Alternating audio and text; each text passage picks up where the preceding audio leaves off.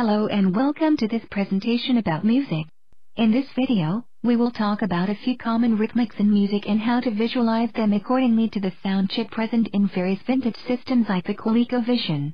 Without too much details, let's talk first about the sound chip.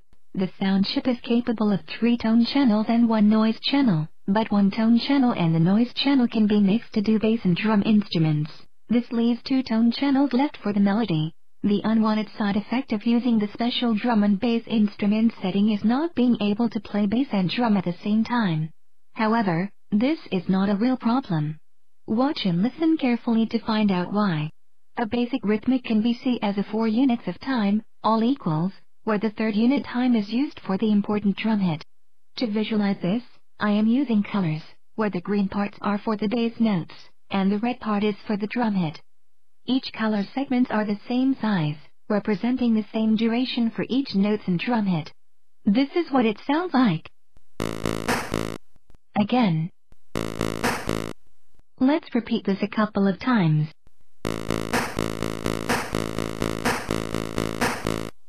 Can you visualize it? Good.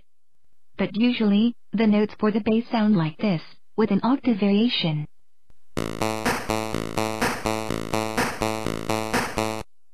You can find this rhythmic in a music like Space Harrier.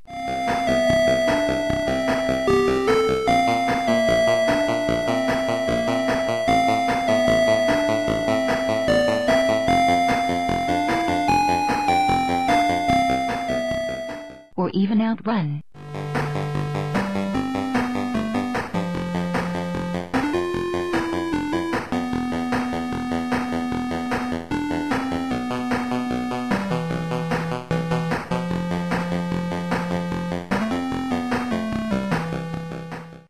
This simple rhythmic may change after a certain number of repetitions by replacing the last bass note by two quick drum hits.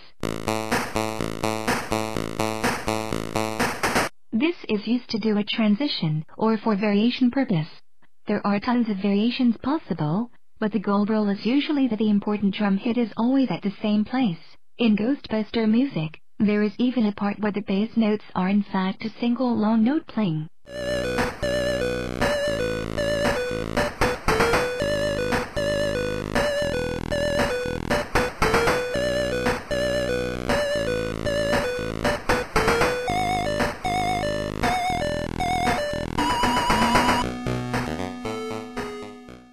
And in Commando, the bass notes durations are quite different.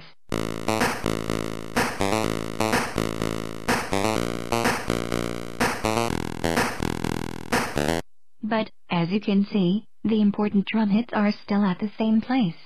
Now, surf the internet and listen carefully. Try to detect, in some musics, rhythmics just as similar as those presented in this video. Like in the music, Billie Jean.